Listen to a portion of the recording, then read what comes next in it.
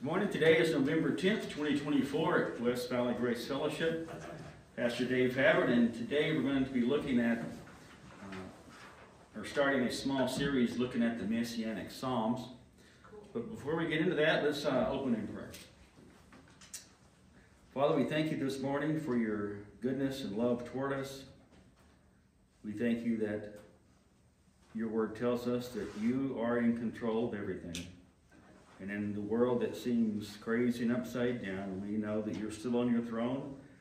Nothing's taken you by surprise, and that your eternal purpose will come to pass. And we thank you for that stability that it gives us and the comfort it gives us while we wait for that glorious appearance of our great God and Savior, the Lord Jesus Christ. We thank you for that. In his name we pray. Amen. Amen. So the Messianic Psalms are those that, um, I guess you say, are prophetic. They look forward to the coming of Christ in either his first or second advents, or they look forward to the, uh, uh, Messianic kingdom or the millennium. Uh, some people, I guess, debate which ones are considered messianic and which ones are not, but for the purpose of this study, we'll be looking at uh, Psalm 16, 22, 34, 35, 40, 41, and 69. Now it's interesting if you uh, turn over to Acts chapter 2 for just a minute before we go to Psalm 16. Acts chapter 2 and verse 29, where we see that the Apostle Peter called David a prophet. He's known as a psalmist, but um, here he says, Men and brethren, let me speak freely to you of the patriarch David, that he is both dead and buried, and his tomb is with us to this day. Therefore, being a prophet, speaking of David, and knowing that God had sworn with an oath to him that the fruit of his body, according to the flesh, he would raise up the Christ to sit on his throne. He, speaking of David, foreseeing this, spoke concerning the resurrection of the Christ that his soul was not left in Hades, nor did his flesh see corruption.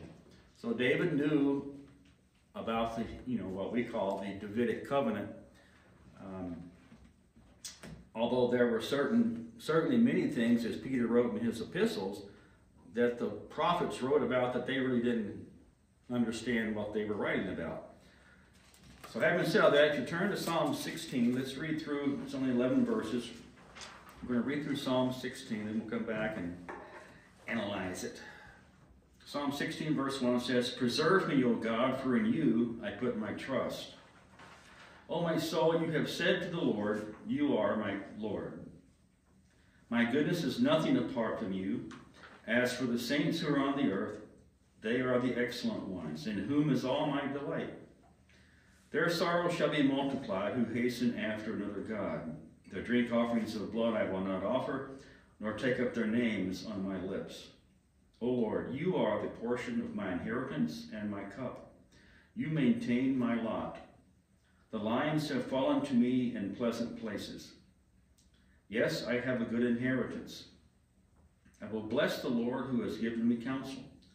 My heart also instructs me in the night seasons. I have set the Lord always before me.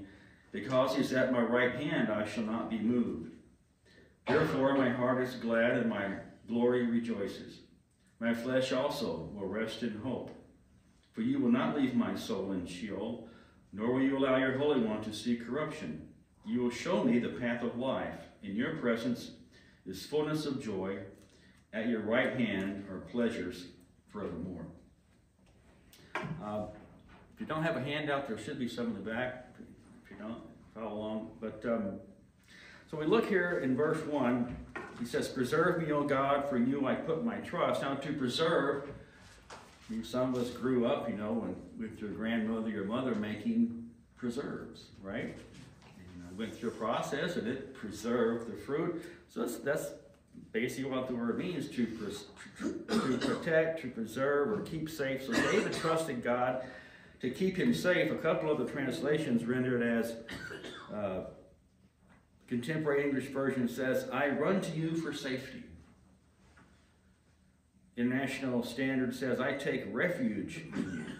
So it's kind of the same thing. When you get scared, where do you go? You know, when you were a kid, you get lightning might scare you, and you go, "Mama!" You could run to mom, or that was always a test of which parent was the favorite, right? Because if something bad happened, did they run to mom or did they run to dad? Uh, so anyway, Psalm 16, like all the prophetic psalms, they have double reference. They concern things that happened at the time and also have double reference to things happening in the future. And we can see how this uh, this verse applies to the Lord Jesus Christ as well, because in his earthly ministry, he certainly trusted in God the Father. Your references there, Matthew 26, 39 and 42, are speaking of when Christ was in the Garden of Gethsemane and he prayed. And you know how he ended his prayers. He prayed three times and he ended up with what? Not my will, but your will be done, speaking to the Father. And in Luke uh, 23 46, not only during his ministry, but at the end of his life on the cross, notice how the Lord, his last words, says, And when Jesus has cried out with a loud voice, he said, Father, into your hands I commit my spirit. Having said this, he breathed his last. So, he had complete trust in God the Father. And throughout his ministry talks to I came not to do my own will, but the will of the one who sent me. So we see that throughout the Lord's ministry. And so in application, though, who do we, in whom do we trust? What do we run to when things get hard? Well, is it money? Just read a few of these uh, verses here for you. Psalm 62.10 says, If riches increase, do not set your heart on them which is kind of similar to Proverbs 23 5, which says, Will you set your eyes on that which is not? For riches certainly make themselves wings. They fly away like an eagle toward heaven. Isn't that the truth, right? It takes you a whole week to earn it. You can spend it in one hour or less, right? One, one bill comes in and it wipes out the whole paycheck. And the Apostle Paul in 1 Timothy 6 17 says, Notice that he said, uh, command those who are rich. He didn't say suggest or uh, just mention it to them. He said, command those who are rich in this present age. Again, there's always that contrast in Paul about eternity in the here and now. And Paul says, well, you're yeah, you're you may be rich now in this present age, but but he says, don't be haughty, nor to trust in uncertain riches. Again, he's echoing what the Psalms and Proverbs said. Don't trust in uncertain riches, but in the living God, who gives us richly all things to enjoy. So we're not supposed to put our trust in money and uh, the way the stock market goes. And if you want to get depressed, just pull up your uh, investment sheet every day and look at it. And you, you're elated one day and you're depressed the next day, and uh, it's a roller coaster. Don't trust in that.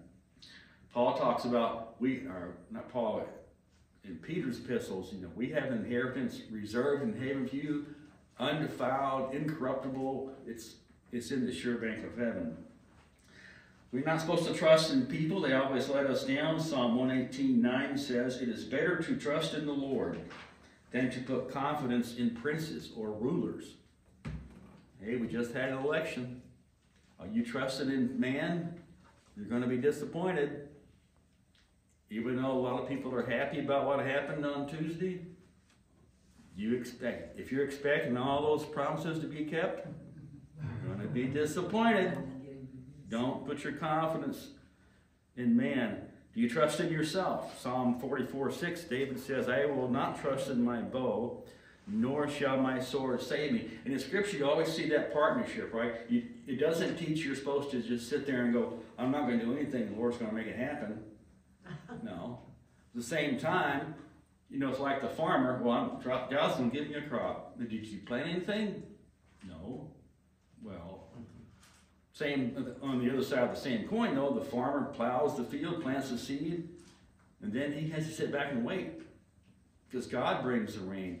No one can explain how a seed germinates and then it comes up and produces the crop. So it's always a partnership of that. Or do we trust in God? And by the way, if you go through the Psalms, if you got your little electronic concordance, just type the word trust and isolate that search to the book of Psalms, and you'll see that it comes up 50 times in the book of Psalms. Trust in the Lord, trust in God, or something along those lines. So Psalm 56, 3 to 4 says, Whenever I am afraid, I will trust in you. So, like we're the kids, right? Lightning claps and we get scared. Where do we run to? David says, Well, when I get scared, I run to God. Verse 4 says, In God I have put my trust. I will not fear. What can flesh do to me? Or what can man do to me? Paul says the same thing in Romans chapter 8, right? What can separate us from the love of Christ? Nothing. We don't have to fear.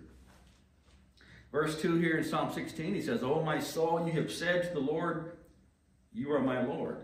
My goodness is nothing apart from you. So, again, that echoes from the New Testament. Uh, apart from God, was John 15, 5, you know, and that talks about the vine and the branches, right? It says, and I think that's emphatic, right? The Lord is saying, I am the vine. Let's get this straight. I'm the vine, you're the branches. He who abides in me and I in him bears much fruit. For without me, you can't do very much. Is that right? Without me, you can do nothing.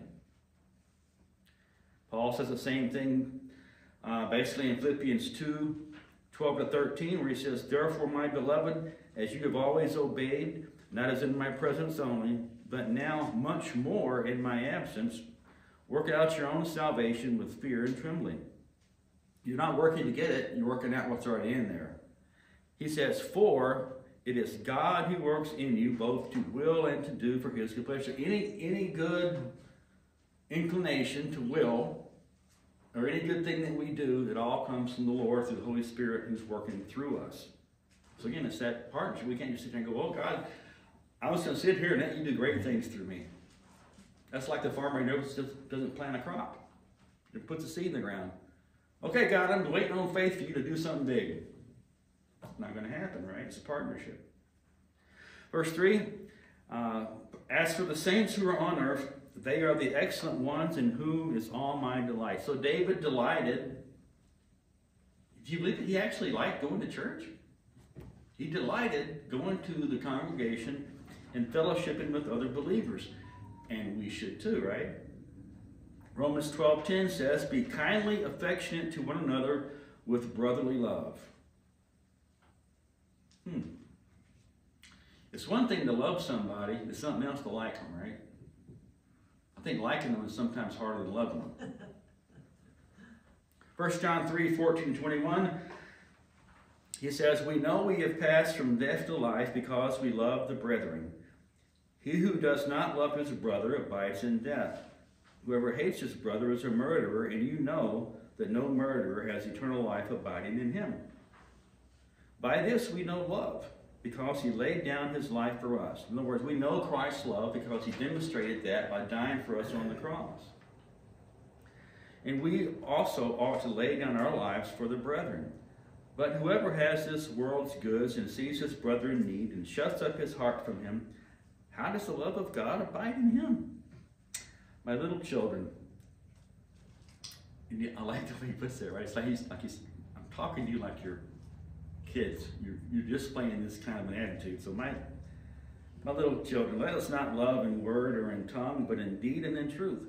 And by this we know that we are of the truth and shall assure our hearts before him. So what it's saying here is our when we walk as we should, it gives us confidence that we're in the Lord. Because verse 20 says, For if our heart condemns us, God is greater than our heart and knows all things. Beloved, if our heart does not condemn us, we have confidence toward God. Then John 4 20 21 just says, Well, if someone says, I love God and hates his brother, he's a liar. For he does not he who does not love his brother whom he has seen, how can he love God whom he has not seen? And this commandment we have from him that he who loves God must love his brother also. So we should not forsake the assembling of ourselves together, it says in Hebrews. Uh, Romans 14, 19 talks about we should pursue or chase after the things which make for peace and the things by which we may edify one another. In Ephesians 4 11 through 16 is where Paul lists the, uh, the purpose, talks about edifying the whole church, how the church, each member has its gift, and we work those together to edify the body of Christ. Verse 4 of uh, 16 says, Their sorrow shall be multiplied who hasten after another God. Their drink offerings of blood I will not offer, nor take up their names on my lips. So here David is pretty much echoing the very first commandment back in Exodus 23. Thou shalt have no other gods before me. And Paul echoes that in 1 Timothy 2 5. That's where he says, and I know it's very politically incorrect to say it today, there is one God and one mediator between God and man, the man Christ Jesus.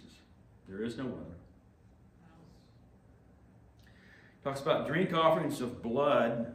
That's referring to child sacrifice. And you go throughout the Old Testament uh, and the history of the Canaanites, that was a, uh, a very, you know, and it, it's interesting. Uh, a lot of books and articles written about the great Mayan culture, and they're finding all these things in Peru, and, all, and now they're finding out how that society was built around child sacrifice by the thousands. It's the same thing we had back in um, the Old Testament time. Psalm 106, 37 to 38 talks about they even sacrificed their sons and their daughters to demons Again, you put scripture with scripture, demons refers to the idols. And Paul talks about that in Corinthians too. Well, I know idols in themselves are nothing, but they represent and are empowered by demons. So here, so Leviticus 18, 21 talks about uh, you should not let any of your descendants pass through the fire to Molech. Um, so all that's speaking of that. Jeremiah 32, 35, that verse says, um, they caused their sons and their daughters to pass through the fire to Moloch, which I did not command them, nor did it come into my mind that they should do this abomination. So that was something that was a continuous thing to these false idols. And it wasn't just some benign thing. It was, it was brutal murder of children. And I won't mention abortion any parallels there. I'll just skip right along. But they weren't supposed to do that, and not only that, we're not even to swear by the name of a false God or speak its name. Uh, Exodus 23 13 talks about, Make no mention of the name of other gods, nor let it be heard from your mouth. Some people think that means you shouldn't. They weren't supposed to be uh, worshiping, making that name in worship, or making that name of other God and, and taking an oath. And some things it means it's just an absolute, don't even, I don't even want to hear that on your, in your lips. Uh, Joshua 23 7 mentions that. It says, You shall not make mention of the name of their gods, nor cause anyone to swear by them, and you shall not serve them nor bow down to them. So there he kind of mentions all three. Don't mention their name, don't swear by them, don't worship them. Verse 5 here says, O Lord, you are the portion of my inheritance and my cup. You maintain my lot. So, what is our inheritance? Well, Ephesians 1 11 through 14, one of those great passages.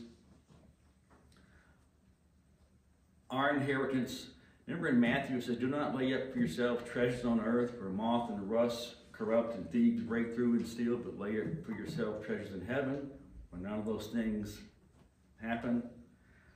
That's where ours is. Ephesians 1 11 through 14 says, In him, in Christ also, we have a obtained an inheritance. Again, obtained.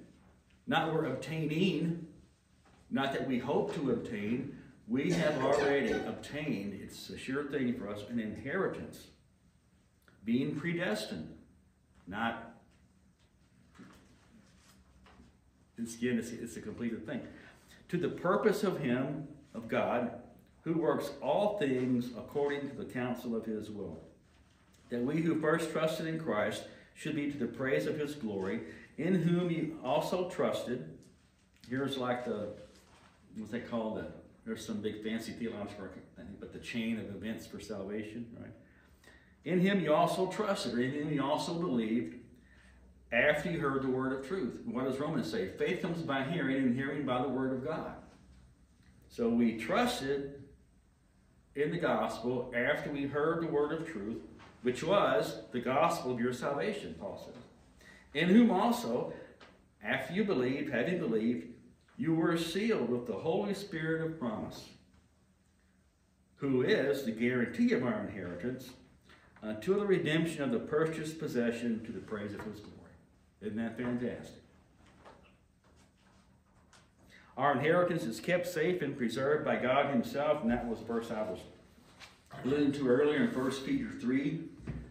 Um, Blessed be the God and Father of our Lord Jesus Christ, who according to his abundant mercy has gotten us again to a living hope through the resurrection of Jesus Christ from the dead, to an inheritance incorruptible and undefiled, and that does not fade away, reserved in heaven for you, who are kept by the power of God through faith for salvation, ready to be revealed in the last time.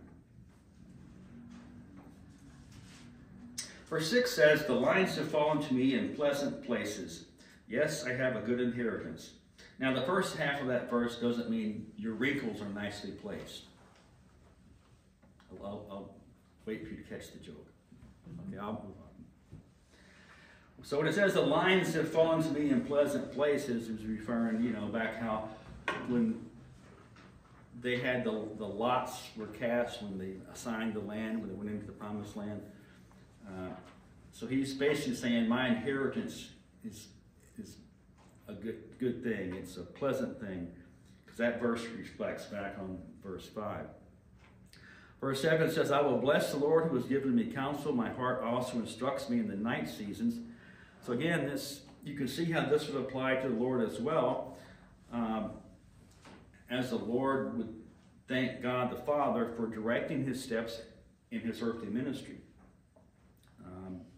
John 6 17 or 7 16, where he says, My doctrine is not mine, but his who sent me. And John 8 28 to 29 says, Well, let's see. Um,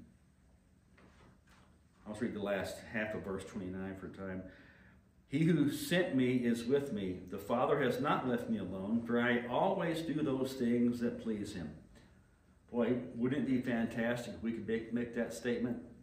I always do things to please him. No, we're more like Paul. Uh, the things I want to do, if I can't manage to do it, and things I don't like doing, I'll find myself doing them. But the Lord could do that. He could say that. John 17, 14. I have given them your word, and the world has hated them because they are not of the world. Does the world hate Christians today? Yeah. We're not of the world. John 17, 17. Sanctify them by your truth. Your word is truth. So night seasons, um, people debate about what that means. Um, some think it means figuratively hard times, uh, adversity. Some things it means just simply at night, the nighttime, literally, that David would be praising the Lord. Uh, but either way, you know, it reminds you of Psalm 23 4. Um, Yea, though walk through the valley of the shadow of death, I will fear no evil, for you are with me. Your rod and your staff, they comfort me.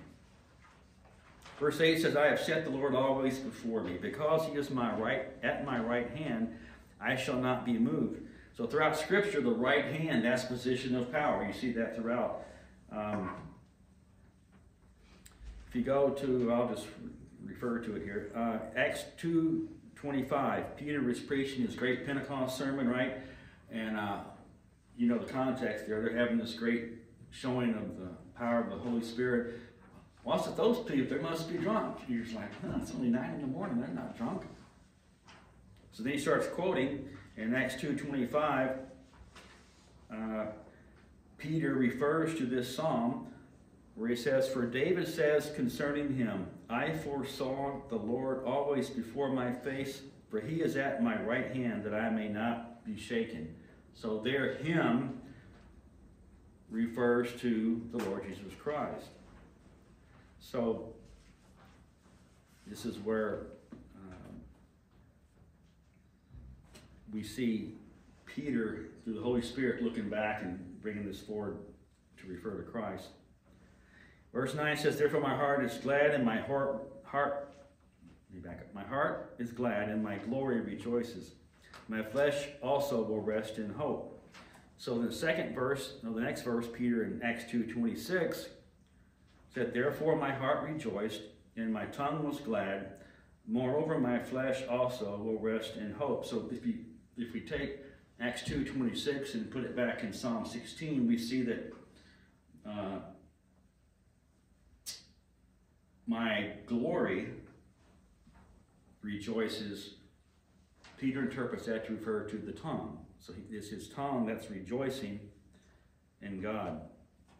So just as the body of Christ, it says um, his flesh will rest in hope. The body of Christ was placed into the tomb and it rested there in hope of the resurrection. It, it, it was not going to see corruption, which follows with uh, verse 10 follows with that, where it says, You will not leave my soul in Sheol, nor will you allow your Holy One to see corruption. So again, Sheol was just the Hebrew word basically referred to the grave. Oftentimes in the Hebrew scripture, they'll tell when it speaks about the grave, it's just referring to the dirt. That's where you're at. Um, now, Paul declared that after David's body was laid with his fathers, it saw corruption. But our Lord's didn't, right? We know that the they had a hurried up job when the ladies went there to prepare his body. So they went there on a Sunday to uh, finish up the job and prep it properly, and it, it was gone.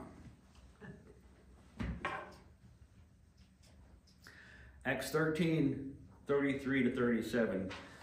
God has fulfilled this for us, their children, in that He has raised up Jesus. Now, now we have we had Peter speaking in Acts chapter 2. Now we have Paul speaking on the same topic, same subject, and same conclusions. It says, He has raised up Jesus, as it is written in the second psalm. So now David, uh, Paul refers to the second psalm. You are my son, today I have begotten you. And that he raised him from the dead, no more to return to corruption. He has spoken thus. I will give you the sure mercies of David. Therefore, he also says in another psalm, now refers to this one, you will not allow your Holy One to see corruption. For David, after he had served his own generation by the will of God, fell asleep, was buried with his fathers, and saw corruption. But he whom God raised up saw no corruption. So you see again, uh, all these, all scripture agrees with itself. So note also that the resurrection of the Lord Jesus and the foundation well, it, the resurrection was the foundation for both what Peter preached, the gospel he preached, and it was the foundation for the gospel that Paul preached. And in Corinthians uh, 15, 1 to 4, Paul states the basic facts of the gospel, and you probably can quote this by heart. Uh, Moreover, brethren, I declare to you the gospel which I preached to you, which also you received, and in which you stand, by which also you were saved, if you hold fast that word which I preached to you, unless you believed in vain. For I delivered to you first of all that which I also received, that Christ died for our sins according to the Scriptures, and that he was buried, and that he rose again the third day according to the Scriptures. And if you skip down, same chapter, down to verse 13 of 1 Corinthians 15, Paul makes a logical argument that if there's no resurrection, then we're wasting our time. He says, But if there is no resurrection of the dead, then Christ is not risen. Now, I, I love his, just follow his, if this is true, then this is true. And if this is true, then that's true. And if that's not true, then, so just, anyway. Um, verse 14, and if Christ is not risen, then our preaching is empty, and your faith is also empty. Yes, and we are found false witnesses of God because we have testified of God that he raised up Christ, whom he did not raise up, if in fact the dead do not rise. For if the dead do not rise, then Christ is not risen. And if Christ is not risen, your faith is futile, and you are still in your sins. Then also, those who have fallen asleep in Christ have perished. And here's the kind of the it's the home run here. If in this life only we have hope in Christ, we are of all men the most pitiable. And then no one uses those next two words better than Paul. But now, Christ is risen from the dead and has become the first fruits of those who have fallen asleep. So he's the first fruit. Remember, that if you go back to the Old Testament scriptures, the first fruit harvest, that was the guarantee of more harvest and crops to come, right? So Christ is the first fruit of resurrection, which is the guarantee of more resurrections to come. He, he just led the way. Verse 11, back uh, in Psalm 16, finishing up there, it says, You will show me the path of life. In your presence is fullness of joy. At your right hand are pleasures forevermore. In the presence of the Lord, there was fullness of joy, completeness of joy. So that helps us to understand Paul when he said this in first in Philippians 1:21. For to me to live is Christ, and to die is gain. What does that mean? More to die is gain. Gain what? More. To live is Christ, and to die is more. More what? More Christ. But if I live on in the flesh, this will mean fruit from my labor, yet what I shall choose, I cannot tell. And that verse has made me do a lot of thinking with no answers. Did Paul have a choice? I've always wondered that. Did God say, Well, Paul, it's up to you. What did you want? Paul's going, Well, let's see. Man, if I stay here, that's more fruit and, and I'll get, you know, I have a better reward, or yes, but man, to depart and be with Christ, He says, verse uh, 23, I am hard pressed between the two. Now, in my interpretation, that's like, I, I can't decide.